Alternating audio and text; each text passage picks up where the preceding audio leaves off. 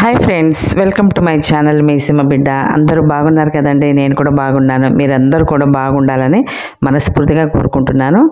ఇక్కడ ఈరోజు వీడియోలో నేను జున్నును ఎలా తయారు చేయాలో చూపిస్తున్నాను. మేము జున్ను ఎలా తయారు చేసే వాళ్ళం అంటే పాలు ఎప్పుడైనా విరిగిపోతాయి కదా? పాలు విరిగిపోయినప్పుడు ఆ పాలల్లో వంచేస్తే వాటర్ అంతా కూడా వెళ్ళిపోతుంది. కింద ఆ విరిగిపోయిన ఆ జున్ను లాంటిది మిగిలిపోతుంది. అందులోకి మనము చక్కెర వేసి బాగా తిప్పేసుకుంటే మనకు జున్ను తయారైపోతుంది. కానీ నేనేం చేసేదాన్ని అంటే దాన్ని అసలు వంచేసేదాన్ని కాదు. ఆ నీళ్ళని అన్నిటినీ కూడా అట్లాగే ఇమరగొట్టేసి ఆ తర్వాత ఆ నీళ్ళన్నీ ఇమిరిపోయిన తర్వాత కింద మనకు జున్ను మిగులుతుంది. అంతసేపు కష్టపడితే మనకు చాలా తక్కువ క్వాంటిటీలో జున్ను తయారయ్యేదన్నమాట. ఇప్పుడు అనిపిస్తుంది అరే పాలను వంచేస్తుంటే ఆ పాలల్లో నీళ్ళు ఉంటాయి కదా దాన్ని వంచేస్తే చాలా తొందరగా అయిపోయేది. కదా.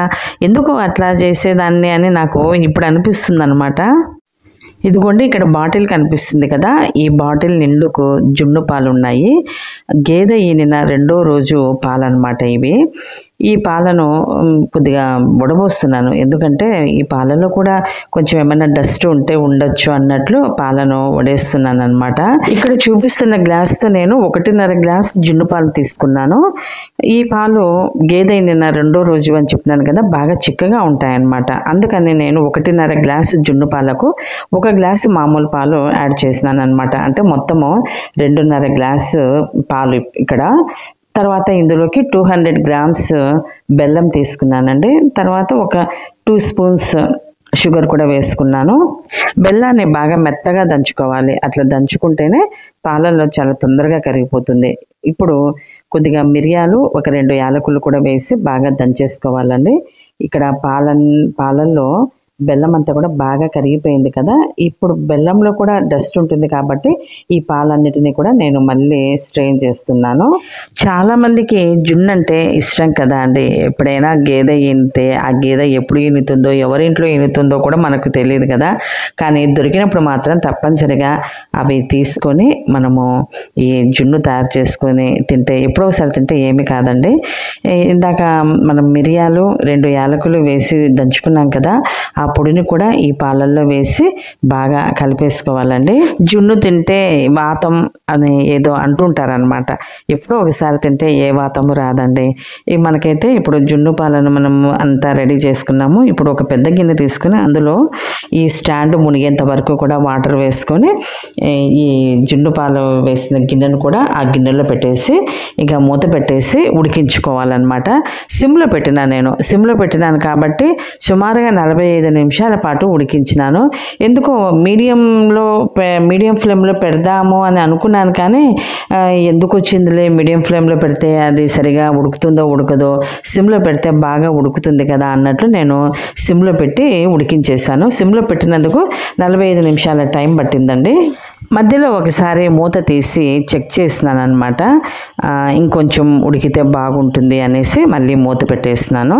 ఇప్పుడైతే నేను జున్నును ఇలా తయారు చేస్తున్నాను కానీ ఒకప్పుడు జున్ను అంటే జున్ను పాలు అంటే పాలను ఒక గిన్నెలోకి తీసేసుకొని అందులోకి బెల్లం వేసి స్టవ్ మీద పెట్టి డైరెక్ట్గా ఉడికించేసుకోవడం అనమాట అప్పుడు కొద్దిగా పాలల్లో నుండి జున్ను పాలల్లో నుండి నీరు వచ్చేది. దాన్ని అంతా కూడా బాగా మరగనిచ్చి మరగనిచ్చి జున్ను తయారు చేసేవాళ్ళము. తర్వాత మా కొలికి ఒక ఆమె చెప్పింది అట్లా చేయకూడదు ఇట్లా చేయాలి అని. ఇప్పుడు నేను చేస్తున్నాను కదా అట్లా చేయాలి అని తను చెప్తే అప్పటి నుండి.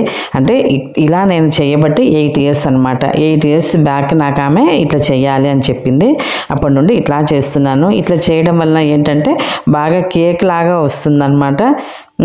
అది కూడా బాగుంటుంది. ఇదైతే నాకు ఇంకా బాగా నచ్చిందనమాట ఇలా చేయడం రాని వాళ్ళు చాలా మటుకు కూడా ఇందాక నేను చెప్పాను కదా పాలల్లో బెల్లం వేసుకొని చక్కెర వేసుకొని బెల్లం కానీ చక్కెర కానీ వేసుకొని స్టవ్ మీద పెట్టేసుకొని డైరెక్ట్గా ఉడికించేసుకుంటారు అని చెప్పాను కదా. చాలామంది ఇప్పటికీ కూడా అలాగే చేసుకుంటుంటారు. కానీ ఒకసారి ఇలా తయారు చేసి చూడండి చాలా ఈజీ ప్రాసెస్ అన్నమాట. ఇట్లా చేసిన తర్వాత అంతా తయారైపోయింది స్టవ్ ఆఫ్ చేసినాము. దీన్ని బాగా చల్లబరిచి అంటే ఫ్రిడ్జ్లో పెట్టి కాసేపు ఫ్రిడ్జ్లో పెట్టేసి సైడ్స్ ఇలా కత్తితో ఇలా లూజ్ చేసేసి చేసి ఒక ప్లేట్లోకి బోర్లింగ్ చేసుకోవాలండి. అది వస్తే బాగా వస్తుంది లేకపోతే కొద్దిగా విరిగిపోతుంది. విరిగిపోయినా నష్టమేం లేదు. కాకపోతే బాగా వచ్చిందా లేదా అనేది మనకి ఇంపార్టెంట్. బాగా వచ్చిందా అంటే టేస్ట్గా ఉందా లేదా అనేది. ఇక్కడ నాకు కూడా కొద్దిగా విరిగిపోయింది. దానిని నేను నేను మళ్ళీ ఆ భాగాన్ని అట్లా అతుకు వేసేసి పెట్టాను అనమాట కాకపోతే ఎంత టేస్ట్గా ఉందంటే నిజంగా అండి నాకు జున్ను అంటే చాలా ఇష్టము. అంత టేస్ట్ టేస్ట్గా ఉందండి. మీరు కూడా ఒకసారి ఇట్లా ట్రై చేసి చూడండి. మొన్న కూడా వన్ లీటర్ జున్ను పాలతో జున్ను తయారు చేసి ఇంకా నేను అంతా నేను తినలేను కదా.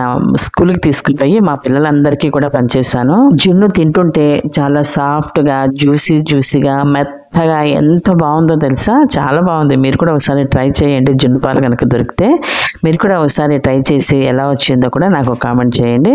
మీకు వీడియో ఎలా అనిపించిందో నాకు చెప్పండి. థ్యాంక్ యూ ఫర్ వాచింగ్ మీకు కనుక ఈ వీడియో నచ్చినట్లయితే లైక్ చేసి మీ ఫ్యామిలీ అండ్ ఫ్రెండ్స్కి కూడా షేర్ చేయండి. Thank you for watching please subscribe my channel మీ సిమ్మ బిడ్డ. Bye bye